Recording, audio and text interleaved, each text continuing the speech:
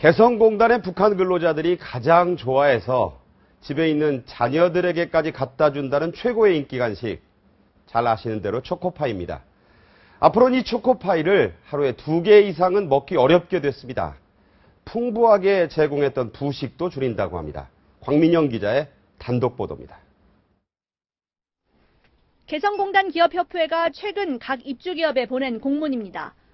북측 근로자들의 주간 정상 근무 시 국거리 0.6달러어치와 초코파이 0.2달러어치를 지급하도록 정했습니다.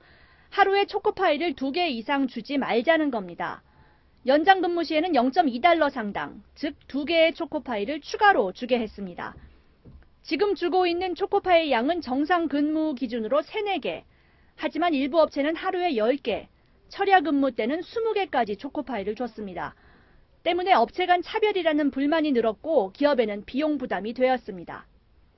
이와 함께 북측 간부 직원에 제공해온 업무용 차량도 없앱니다.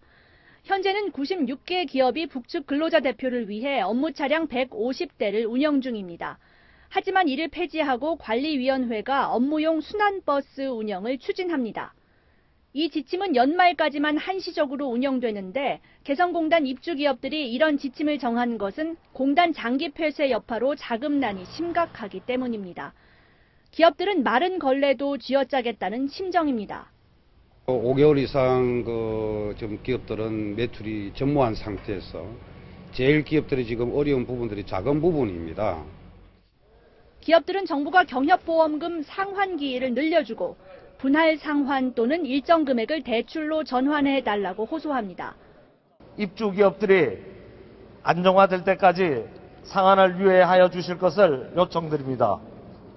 개성공단은 재가동에 들어갔지만 기업 정상화까지는 갈 길이 멉니다. 채널A 뉴스 광민영입니다.